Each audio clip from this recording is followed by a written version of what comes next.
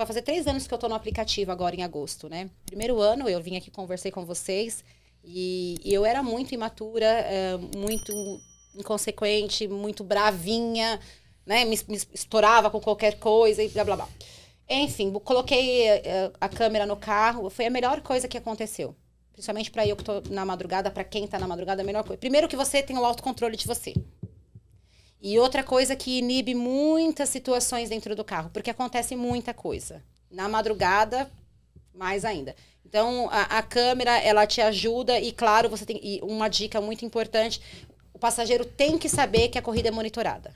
Então você ativa lá no, no, aplicativo da Uber, você adesiva seu carro, é muito importante. E eu só tomei essa postura quando eu tomei um bloco.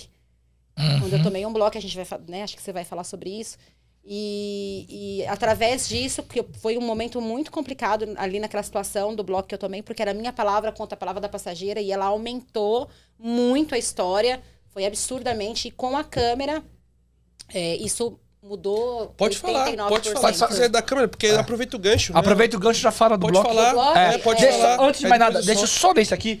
A Rosane Moreira, ela mandou: sou fã número da K, super alto astral. Feliz por te ver brilhar cada dia mais. Ah, obrigada. Beijo, Rô. O bloco foi o seguinte: eh, eu tinha acabado de trocar de carro, eu trabalhava com o Uno, aí eu peguei o Fora de K. Tinha, tipo, quatro dias. Então, eu tava alguns dias sem trabalhar, aquela coisa toda, se desembolsei grana, investi, blá, blá, vamos trabalhar. Peguei a passageira, a passageira entrou no carro.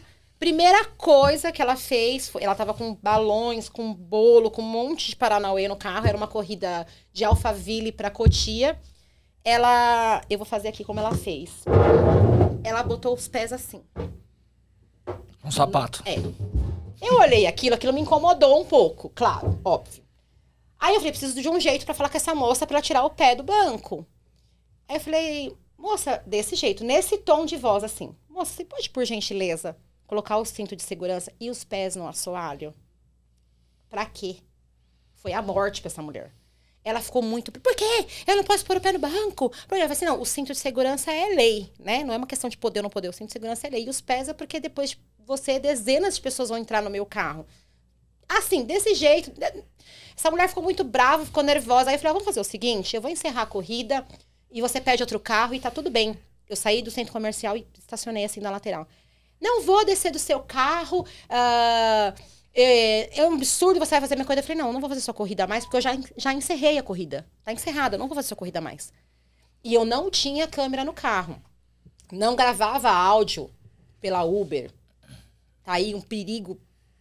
Esse risco eu não quero correr mais e recomendo vocês não correrem também. E aí ela começou a fazer um puta escândalo. Eu falei, moça, olha, por favor, eu tô trabalhando, desce do carro. Aí ela começou a engrossar e me esculhambar, me, me chamar de nomes horrorosos, assim. E eu tenho um problema muito sério. Você pode me chamar de qualquer coisa. Se você me chamar de vagabunda. Fudeu.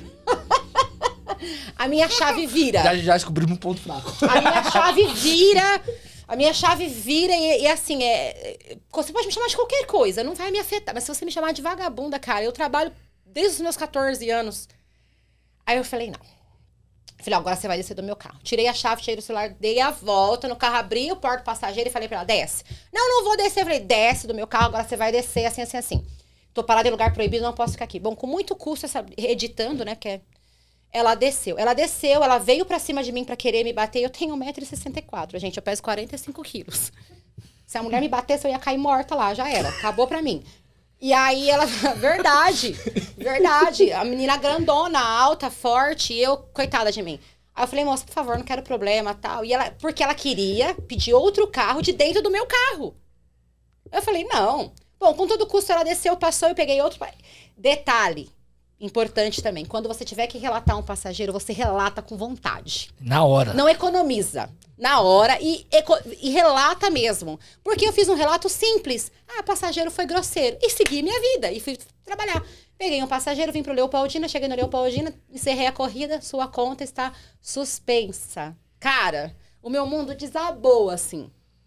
Eu liguei pro Éder, eu mandei mensagem pro Éder, porque eu nunca tinha visto falar sobre isso, eu não sabia como funcionava isso, eu não sabia como. Res... Chorando, não foi? Que eu te mandei uhum. mensagem. Chorando, mas eu chorava igual criança.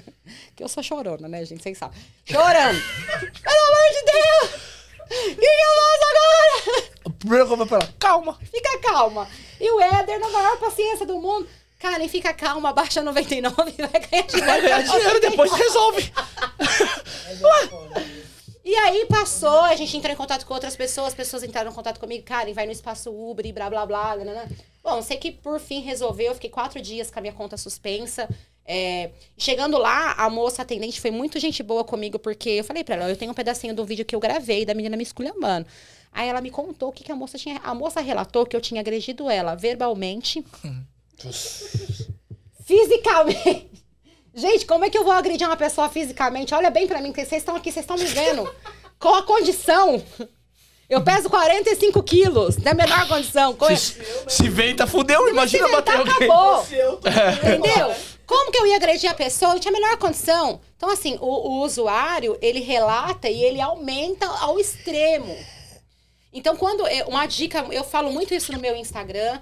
Falo muito, muito, muito. Quando vocês tiverem que relatar, não deixa para depois. Dá uma pausa nas viagens, encosta no lugar seguro e relata e não economiza. Aumenta um pouquinho. Se possível. Exagera um pouquinho, é? se possível. Se você E aí, Exagera, com tudo isso, tem a câmera no carro agora. Eu gra... Todas as minhas corridas são gravadas. Ah, cara, gravo, gravo tudo. Gravo tudo. Porque eu nunca sei se eu vou pedir pro passageiro fazer uma coisa e ele, como ele vai entender aquilo. É, principalmente na madrugada, né? Tipo, eu não tenho problema nenhum. Eu acho que quem tá na madrugada tá sujeito a pegar bêbado, tá sujeito a pegar porta de festa. É normal. A gente tá na madrugada. É isso. Então, cabe mim ter um pouquinho de paciência. Só que eu já falo logo: tem saquinho aqui, vomitar. Se estiver passando muito mal, me avisa. A gente para, a gente toma água. Só não vomita no meu carro. Não, não tem problema perder 10, 15 minutos. Eu prefiro perder 10, 15 minutos com o passageiro se recompondo do que eu perder a noite inteira de ganhos. Então, dica para vocês: gravem tudo, não deixe de gravar e não economiza nos relatos.